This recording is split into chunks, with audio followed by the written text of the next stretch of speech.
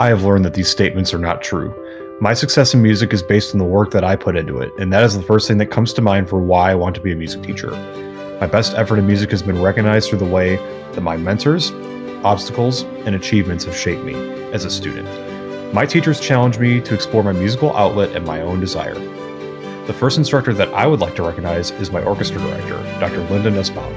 When I was a freshman in high school, I played violin in the lowest level orchestra and was offered a spot in the highest level orchestra the following year. However, I had also been a percussionist in the marching band and jazz band and had an itching desire to become a full time percussionist instead. Dr. Nussbaum encouraged me to switch to percussion instead of shaming me for my opinion. I honor her decision to this day. The next teachers that I would like to recognize are my band directors, Mr. Stuart Bailey and Mr. Brian Hillhouse.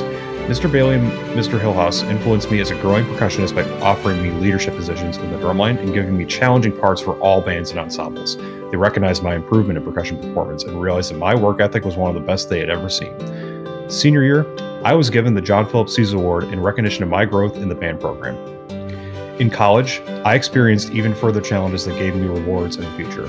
My experience at the University of Iowa so far has given me experience with failure, hard work, and reward.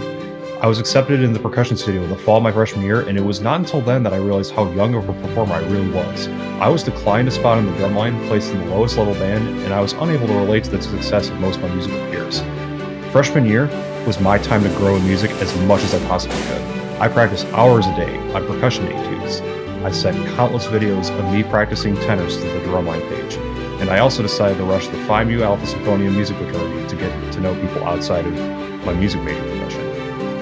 Sophomore year has paid off my hard work as a musician. I performed in the premier Iowa Symphony Band, earned a spot on the tenor line of the Hawkeye drumline, and bonded even further with brothers of Phi Mu Alpha.